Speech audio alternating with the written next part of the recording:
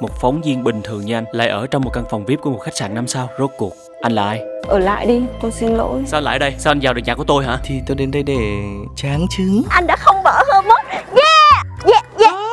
Cô mà làm vậy là lại làm trái tim tôi rung động nữa cho coi. Anh bị điên hả? Ngon, tôi là con khủng long ạ chú ơi Nếu mặt ngửa Tôi sẽ ra đi mà đầu không ngoảnh lại. Còn nếu mà sấp Bằng mọi giá tôi sẽ giữ cổ lại bên tôi. Mình, mình có bị nghiện hung hình nào đâu Ôi, Bậy ba, bậy ba, bậy ba Ui.